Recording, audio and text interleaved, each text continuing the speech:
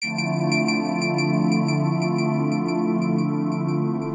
day, my name is Mark Mellor. I'm an attorney here in Riverside, California. I've got a number of clients recently in San Jacinto that have contacted me about construction related issues dealing with mechanics liens and real estate. So I thought it helpful to put together a quick video series on mechanics lien rights in California.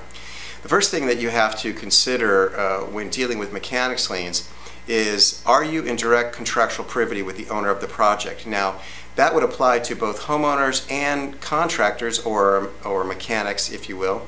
And uh, what I mean to say is if you are in direct contract with the owner of the property, then you don't need to record a 20-day preliminary notice. when I say record, I mean you don't need to send that out by certified mail return receipt requested to the property owner, the lender, if any, on the project, and the general contractor, if any, on the project.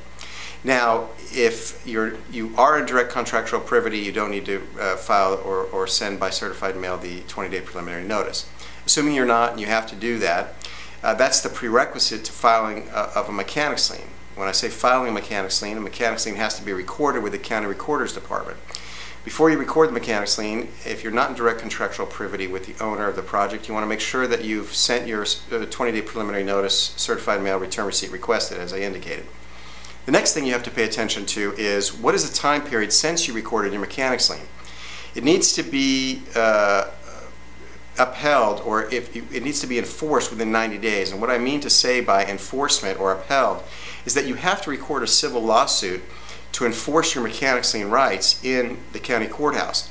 If you don't record uh, or file a civil lawsuit within 90 days of the recording of the mechanics lien, the mechanics lien is no longer valid by operation of law. If you're a property owner facing that situation and your mechanic or contractor hasn't recorded a lawsuit against you within 90 days, then you can file a simple motion action to have that expunged from the county recorder's record, uh, which is a simple motion.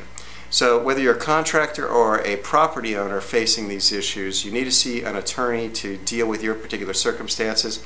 I'm happy to meet with you by telephone or uh, come and meet me personally so we can go over your particular issues.